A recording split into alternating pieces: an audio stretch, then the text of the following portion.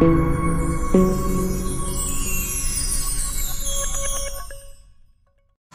बता दें कि आज मतगणना मतलब स्टार्ट हो गई है। सुबह आठ बजे से ही मतगणना स्टार्ट हो गया है।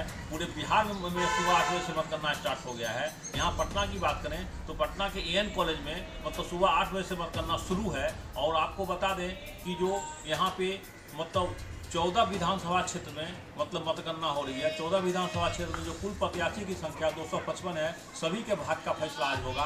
आपको बता दें कि मतगणना कि, मतलब मतगणना हर एक राउंड में की जाएगी और एक राउंड में कम से कम पंद्रह से सत्रह मिनट लगने की संभावना बताई जा रही है।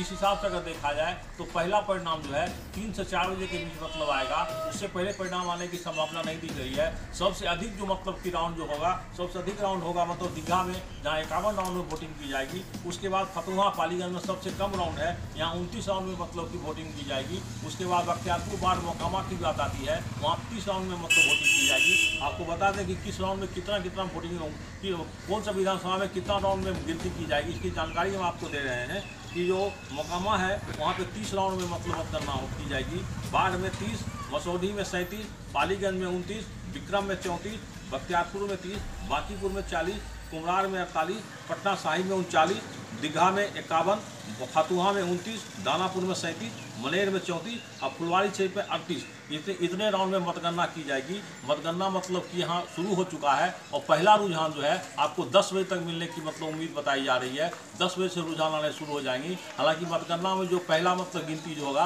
वो बैलेट पेपर की गिनती होगी। आठ से दस बजे दो घंटे उसके लिए समय निर्धारित किए गए हैं। उसके बाद ई खोले जाएँगे। ईवीएम खुलने के बाद हो सकता है कि रुझान में काफ़ी अंतर आए, क्योंकि मतलब बैलेट पेपर और ई में काफ़ी मतलब रुझान आने में अंतर बताया जा रहा है। अब देखने वाली बात ये होगी कि आज किसके मतलब किस्मत का फैसला होता है, किसकी दिवाली मनता है, किसका दिवाला निकलता है, हम आपको हर समय अपडेट देते रहेंगे। आप देखते रहिए प्रत्येक राय पटना समय अजय शंकर।